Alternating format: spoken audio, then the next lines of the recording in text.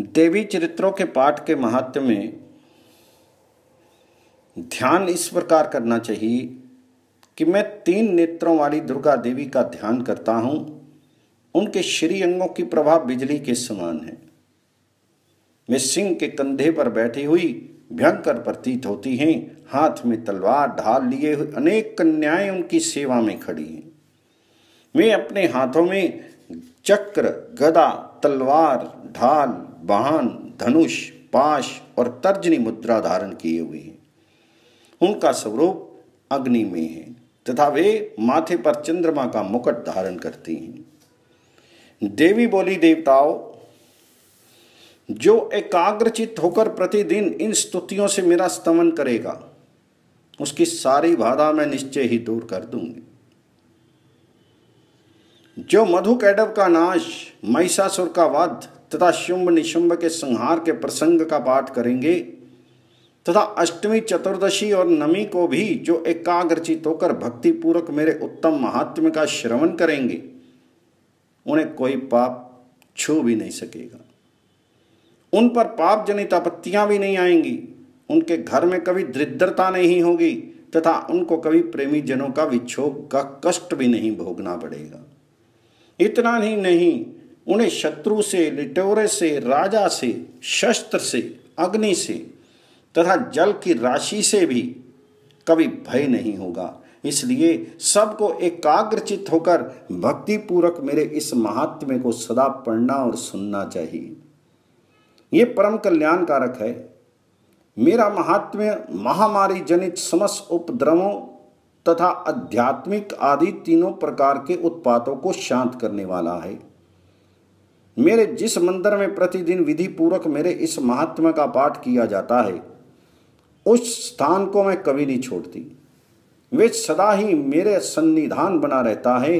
बलिदान, पूजा, होम तथा महोत्सव के असरों पर मेरे इस चित्र का पूरा पूरा पाठ और श्रवण करना चाहिए। ऐसा करने पर मनुष्य विधि को जानकर या बिना जाने भी मेरे लिए जो बलि, पूजा या होम आदि करेगा, उसे मैं बड़ी प्रसन्नता के साथ ग्रहण करूँगी। शरत काल में जो वार्षिक महापूजा की जाती है, उस अवसर पर जो मेरे इस महात्मा को भक्ति पूर्वक सुनेगा, वह मनुष्य मेरे प्रसाद से सब बाधाओं से मुक्त तथा धन धान्य एवं पुत्र से संपन्न होगा, इसमें तनिक भी संदेह नहीं है। मेरा ये महात्म मेरे प्रादुर्भाव की सुंदर कथाएँ तथा युद्ध में किए हुए मेरे प्राकर्म सुनने से मनुष्य निर्भय हो जाता है। मेरे महात्म का श्रवण करने वाले पुरुष के शत्रु नष्ट हो जाते हैं, उन्हें कल्याण की प्राप्ति होती है और उनका कुल आनंदित रहता है। सर्वत्र शांति क्रम में बुरे स्वप्न दिखाई देने पर, ग्रह जनित भयंकर पीड़ा उपस्थित होने पर मेरा महात्म्य श्रवण कीजिए। इससे सब विघन तथा भयंकर ग्रह पीड़ाएँ शांत हो जाती हैं और मनुष्यों द्वारा देखा हुआ दुस्वप्न शुभ स्वप्न में परिवर्तित हो जाता है। बाल ग्रहों से आक्रांत हुए बालकों के लिए यह महात्म शांति कारक है तथा मनुष्यों के संगठन में फूट होने पर यह अच्छी प्रकार मित्रता कराने वाला है। ये महात्म समस्त दुराचारियों के बल का नाश करने वाला है। इसके पाठ मात्र से राक्षों भूतों और पिशाचों का नाश हो जाता है। मेरा ये सब महात्म्य मेरे समीप्य की प्राप्ति कराने वाला है। पशु, पुष्प, अर्ध, धूप, दीप, गंध आदि उत्तम सामग्रियों द्वारा पूजन करने से, ब्राह्मणों का भोजन कराने से, होम करने से, प्रतिदिन अभिषेक करने से, नाना प्रकार के अन्य भोगों का अर्पण करने से तथा दान देने आदि से एक वर्ष तक जो मेरी आराधना की जाती है।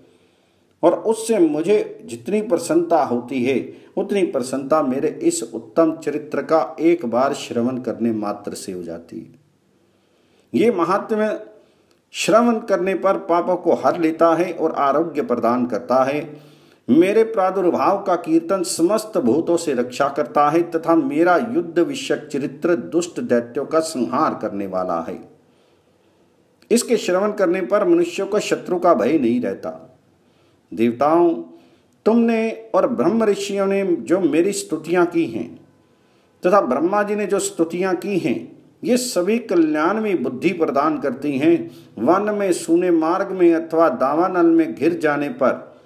निर्जन स्थान में लुटेरों के दाव में पड़ जाने पर या शत्रुओं से पकड़े आने, जाने पर, अथवा जंगल में सिंह, व्याघ्र अथवा जंगली हाथियों के पीछा करने पर कुपित राजा के आदेश से वध या बंधन के स्थान में ले जाए जाने पर अथवा महासागर में नाव पर बैठने के बाद भारी तूफ़ान से नाव के डगमगाने पर और अत्यंत भयंकर युद्ध में शस्त्रों का प्रहार होने पर तथा वेदना से पीड़ित होने पर किम बहुना, सभी भयानक बाधाओं के उपस्थित होने पर जो मेरे इस चरित्र का स्मरण करता है, वह मनुष्य संकट से मुक्त हो जाता है, मेरे प्रभाव से सिंह आदि हिंसक जंतु नष्ट हो जाते हैं। तथा लुटेरे और शत्रु भी मेरे चरित्र का स्मरण करने वाले पुरुष से दूर भाग जाते हैं। ऋषि कहते हैं, ये कहकर प्रचंड प्राकर्म वाली भगवती चंडिका सब देवताओं के देखते देखते वहीं अंतर ध्यान होगी फिर समस्त देवता भी शत्रुओं के मारे जाने से निर्भय होकर पहले की ही भांति यज्ञ भाग का उपभोग करते हुए अपने अपने अधिकार का पालन करने लगे। संसार का विध्वंस करने वाले महाभयंकर, अतुल प्राक्रमी देव शत्रु शुंभ तथा महावली निशुंभ के युद्ध में देवी द्वारा मारे जाने पर शेष तैत्य पाताल लोक में चले आए। राजन इस प्रकार भगवती अंबिका देवी नित्य होती हुई भी पुनः पुनः प्रकट होकर जगत की रक्षा करती है। वे ही इस विश्व को मोहित करती है, वे ही जगत को जन्म देती है और वे ही प्रार्थना करने पर संतुष्ट होकर विज्ञान एवं समृद्धि प्रदान करती है। महाप्रलय के समय महामारी का स्वरूप धारण करने वाली वे महाकाली ही इस समस्त ब्रह्मांड में व्याप्त है। वे ही समय समय पर महामारी होती और वे ही स्वयं अजन्मा होती हुई भी सृष्टि के रूप में प्रकट होती है। वे सनातनी देवी ही समय के अनुसार संपूर्ण भूतों की रक्षा करती है। मनुष्यों के अभ्युदय के समय वे ही घर में लक्ष्मी के रूप में स्थित होकर उन्नति प्रदान करती है। वे ही अभाव के समय दरिद्रता बनकर विनाश का कारण होती है। पुष्प, धूप और गंध आदि से पूजन करके उनकी स्तुति करने पर वे धन, पुत्र, धार्मिक बुद्धि तथा उत्तम गति प्रदान करती है।